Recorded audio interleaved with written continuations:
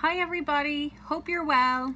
So this week on the school website is Wellness Week. Now we saw how fantastic you all were during active week, but it's just as important for you to look after your mind as it is to look after your body. So we want you this week to look after your mental health as well as your physical health. Um, especially now during these times when life is a little bit different, you might find yourself worrying about things more than normal or maybe being a little more anxious than usual. So this week on the school website, we have lots of activities for you to look after your well-being.